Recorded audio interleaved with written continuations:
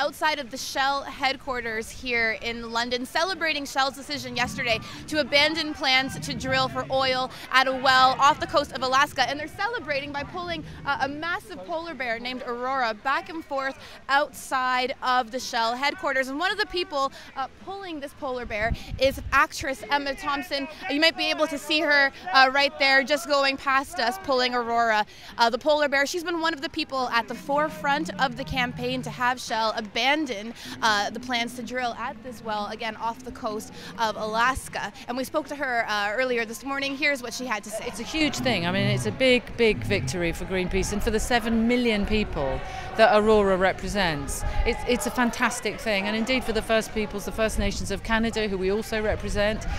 Now, Shell said it decided to abandon its plans to drill for oil in the waters off the coast of Alaska because an exploratory well that it drilled there just didn't turn up enough oil uh, to make it worth it for the company to keep going there. But it is a U turn for the company. It will cost it billions of dollars, and again, causing lots of celebration for these activists here today. Now, as for Aurora, the polar bear, uh, it will now go to Paris, where world leaders will meet in November to talk about climate change, and the Greenpeace activists hope it will have some influence at those talks. Ellen Mauro, CBC News, London.